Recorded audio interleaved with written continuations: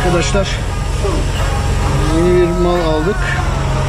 Şu anda Dallas tarafında Arlington diye bir yerdeyim. Buradan mal alacağız.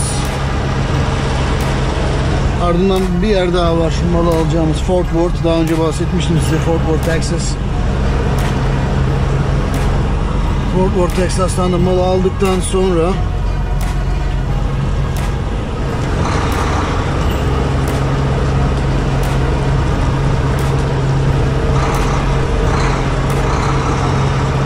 ardından yolumuz Phoenix olacak arkadaşlar.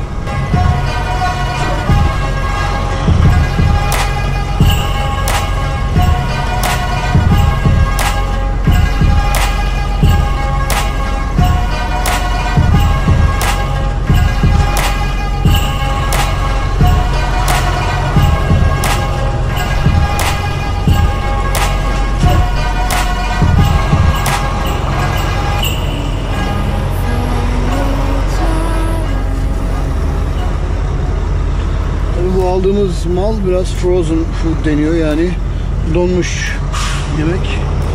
Ne olduğunu açıkçası bilmiyorum. Bu arada şu yeşil ışık demesi yanaş, yanaşma anlamındadır. Yeşil ışık yanıp sönüyor. O yanaşmak demektir. Yani o yeşil ışık yandığı zaman hem yanaşabiliriz hem de e, mal dolduğu zaman ayrılabiliriz anlamındadır arkadaşlar.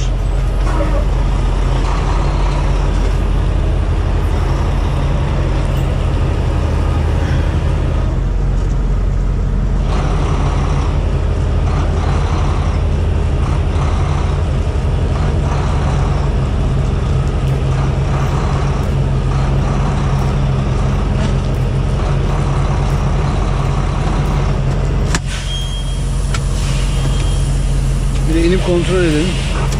Ve Chuck Wheels deniyor. Onu yapalım. Hoppa. Evet gördüğünüz gibi eksi 10 Fahrenheit. Bu yeşilin anlamı daha önce söylemiştim. Ama yine tekrarlıyorum. Arabanın ayrılması veya gitmesi için. Ah. Şurada tekerleri takıyoruz ki arabaya yüklendiği zaman da araba kaymasın. Sonra araba açıldığı zaman ki bazılarında oluyor. Fotoğraflarını gördüm ben. E, forkliftler falan aşağıya düşüyorlar. Evet şimdilik burada videoyu kesiyorum. Bundan sonra bir tane daha mal alacağım. Ama giderken yine kamerayı açmayı planlıyorum. Görüşürüz arkadaşlar. Ha, bu arada şunu da göstereyim. Hemen kırmızı yandı. Kırmızı yanması demek malımızı yüklemeye başlıyorlar demek. İçerideki kapıyı açmış, açmadık, açtıkları anlamına geliyor. Neyse şimdi kapatıyorum. Daha sonra görüşmek üzere arkadaşlar. Kendinize iyi bakın şimdilik. Evet arkadaşlar yeşil yandı gördüğünüz görüyorsunuzdur tahminim. Ee, az önce getirdiler kağıtlarımı. Kağıtları imzaladım. Şimdi arabayı biraz açacağım. Sonra gidip kapıları kapatıp bu arada mühürü bu şekilde aldım. Mühürü daha sonra kullanacağız o yüzden.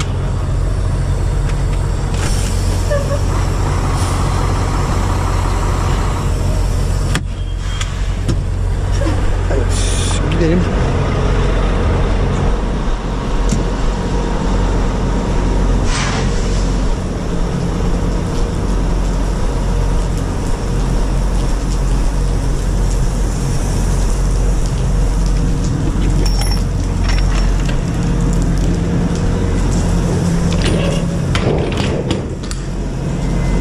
Evet.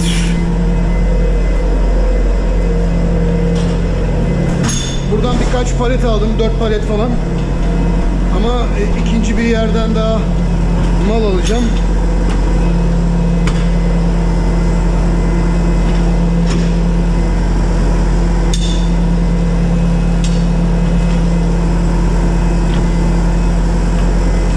Bunlara da load lock deniyor. Load yük demek. Lock kilit demek. Yük kilidi yani. Şunlar normalleri düz çubuk olanları. Ben onu tercih ediyorum o çiftli olduğu için. bu kadar az olduğuna aldanmayın. Çünkü gidip ikinci bir yer daha var. Oradan da mal alacağım.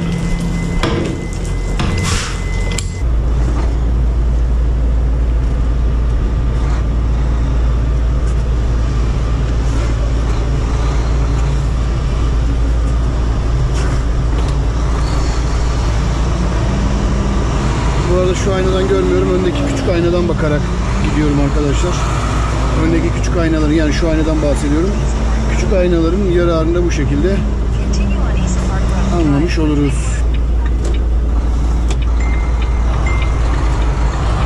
Bu arada sağ olsun arkadaşlar Face'ten bol bol yazıyorlar bana. Kendilerine çok çok teşekkür ediyorum. Gerçekten beklemediğim bir ilgiyle karşılaş, karşılaştım. Bu kanal mevzusu benim açımdan gerçekten çok iyi oldu. Hem motivasyonum anlamında hem de ne bileyim bir şeyler paylaşmak, konuşmak, sohbet etmek anlamında. Ee, tabii biraz şöyle bir sıkıntısı da var. Ee, sürekli bir video yetiştirme derdimiz var. O da o yetiştirilebilecek derecede video üretmek gerekiyor. Üretmekte sıkıntı. Hani her zaman ne üreteceğimizi de bilmiyoruz. O yüzden bu vlog denilen sistem var ya yani güzel bir sistem. Ee, videoyu çek, sağa solu göster, sohbet et. E benim açımdan da iyi oluyor ama bazen deli gibi de insan kendini hissediyor. Ee, çünkü sağda solda insanlar görünce mesela şu anda kafamda kamera var. Adam bakıyor, tur gidiyor, adam adamın kafasında kamera var. Sohbet ediyor. E, bu arada arkadaşlar Dallas'tayım ben. Malı Dallas'tan al- aldım. Ama e, ikinci bir yer daha Fort Worth, Birleşik demiştim daha önce bunu size. Fort Worth'tan gidip tekrardan mal alacağım. Bu arada Dallas'ı da ufaktan görmüş olursunuz. Bu Dallas'ın downtown dedik- dedikleri yer yani merkezi olan bölgeleri.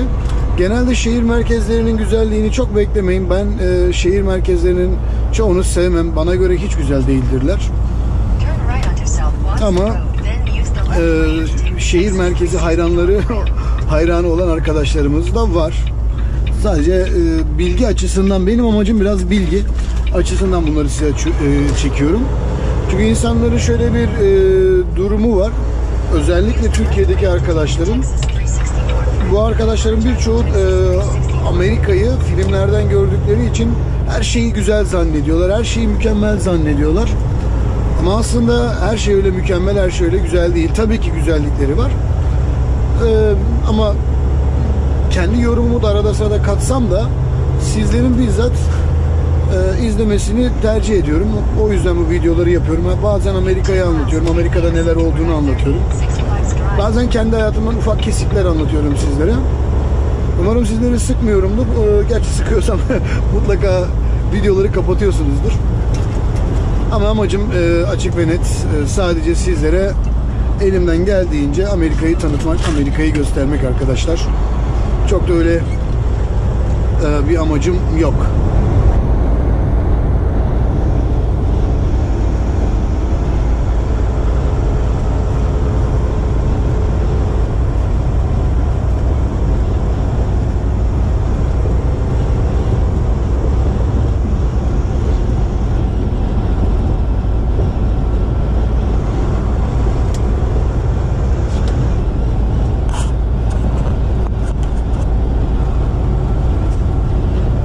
Evet arkadaşlar ileride gördüğümüz şehir Fort Worth. Yani Dallas'tan birleşik olan şehir.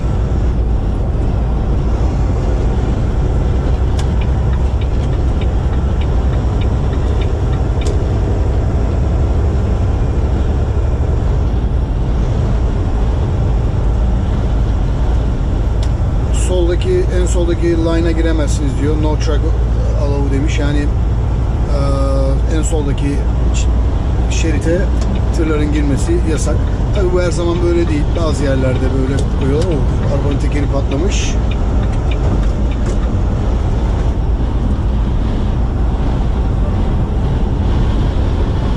Öyle bir ufak bir. Şurada haç işaretini gördüğünüz yolun kenarında veya şurada mesela bir ağaç koymuşlar, küçük şeyler koymuşlar ve yine haç işareti var.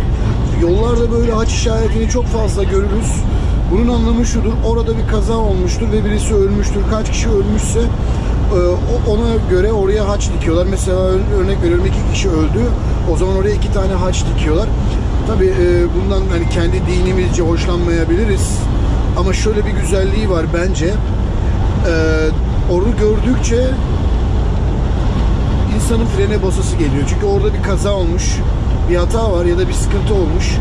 Ona göre senin de yavaşlaman gerektiğinin farkına varıyorsun. Mesela bende şöyle bir özellik var. Ee, kışın yani çok fazla yavaşlamıyoruz diyelim. İleride bir kaza gördüm, bir tırın yattığını gördüğüm anda ayağım daha gaza basmıyor. O nedenle böyle şeyleri gördüğüm zaman da biraz hani temkinli olmaya çalışıyorum.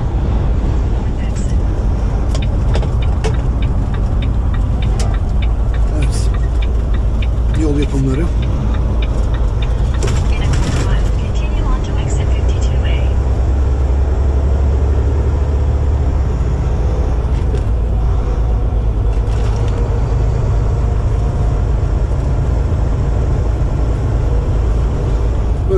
Ufaktan e, burada iş, iş- işlemler, yollar nasıl yapılıyor onu da göstermiş olduk.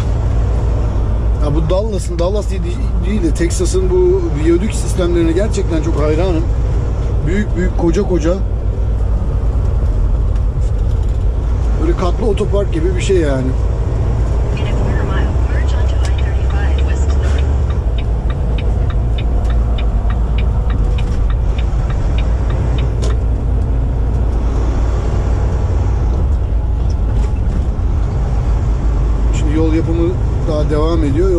Bittiği zaman buralar çok güzel olacak diye tahmin ediyorum.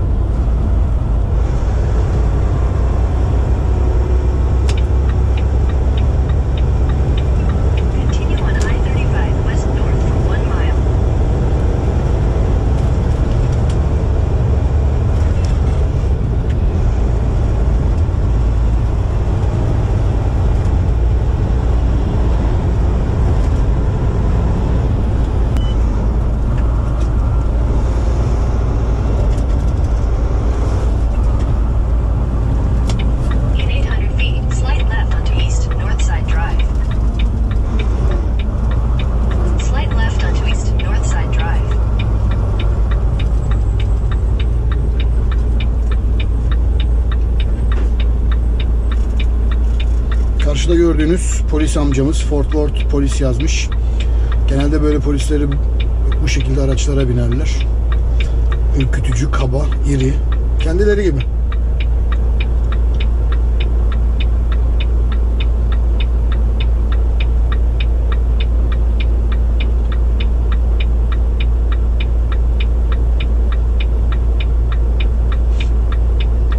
Önce anlatmak istediğim şuydu arkadaşlar. Mesela şu anda sola döneceğim ama sola döndü kırmızı olduğu zaman sola dönemiyorsun.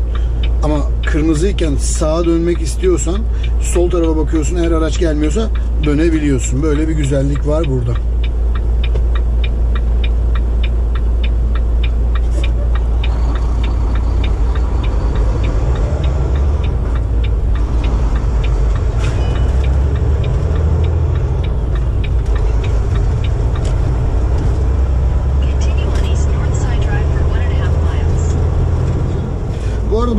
Stop dediği stop sign dur tabelası. Mesela şimdi duracağım. Normalde bu şekilde durup sağımızı solumuzu kontrol ettikten sonra yavaş yavaş yola çıkmamız gerekiyor. Türkiye'de bunu çok uygulamıyorlar ama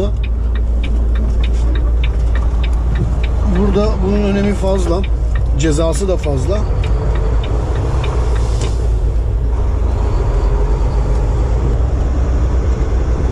Tren yolu. Filmlerde görüldüğü gibi tren yollarından.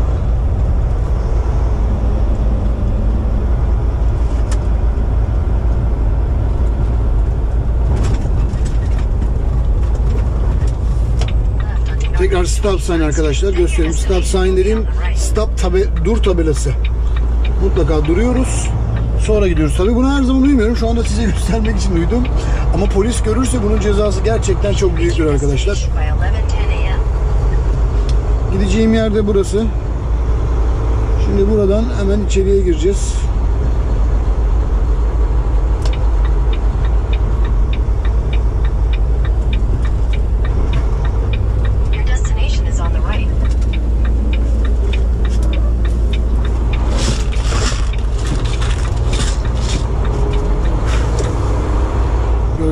Tırcı arkadaşlarımız da park etmiş. Hepsi bekliyor.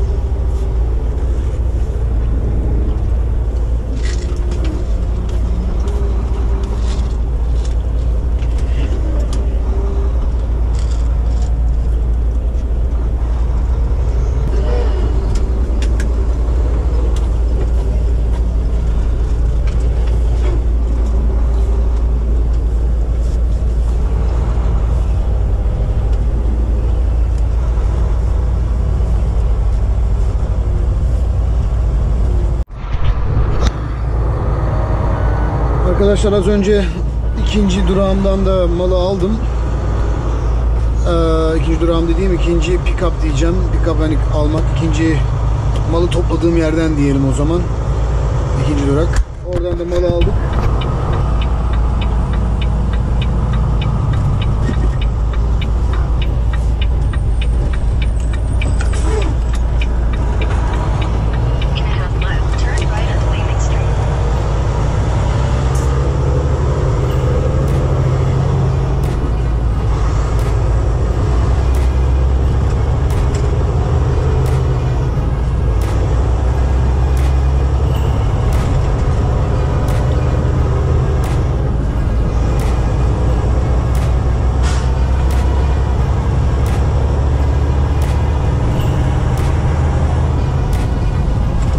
Kenar mahallelere gelmişim ya.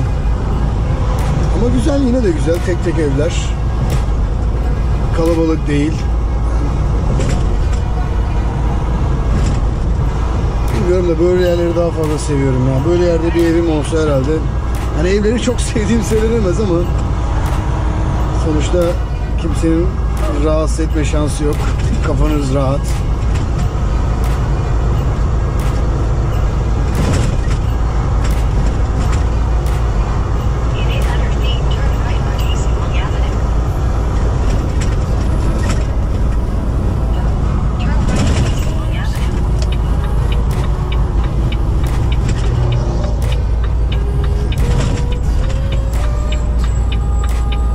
Videomun sonuna geldim arkadaşlar. Sizden ricam bu videoları yaymanız. Ee, Eğer hoşunuza gittiyse like yapmanız ve e, daha çok insana ulaştırmanız. Daha önceki videolarımda da sizlerden birçok kez rica etmiştim. Aynı ricada ısrar ediyorum. Lütfen ama lütfen ama lütfen bu videoları beğendiyseniz lütfen paylaşın ve daha çok insana ulaşsın.